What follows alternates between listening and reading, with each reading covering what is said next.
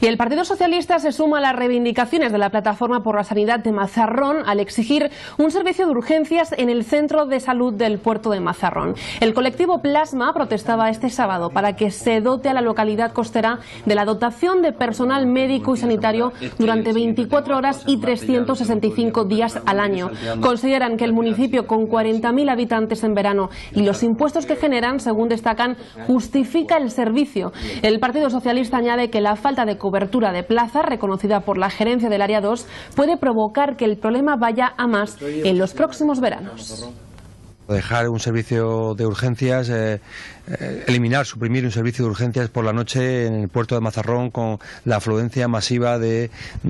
turistas, de personas también del resto de la región que, se desplazan al puerto de Mazarrón qué modelo turístico queremos ofrecer, qué, alternativa, qué plus queremos ofrecer del modelo turístico de la región si no tenemos la atención sanitaria que junto con la seguridad son los dos pluses que tiene nuestro modelo turístico con respecto a otros países y otras comunidades.